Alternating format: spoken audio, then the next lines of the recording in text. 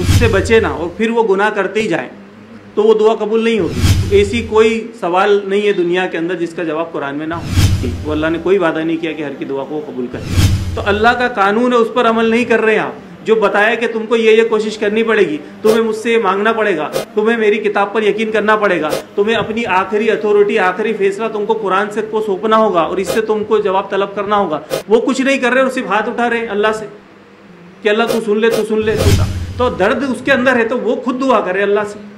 दूसरे से कहने से क्या होगा? वैसे उस दर्द से थोड़ी दूसरा उसकी दुआ मांग सकता है। उसके था अच्छा तंदुरुस्त था दब नहीं पड़ रहा था, बीमार हो गया तो फिर वो जो है टेके टेके भी पड़ रहा, बैठ के पड़ रहा, लेट के पड़ रहा।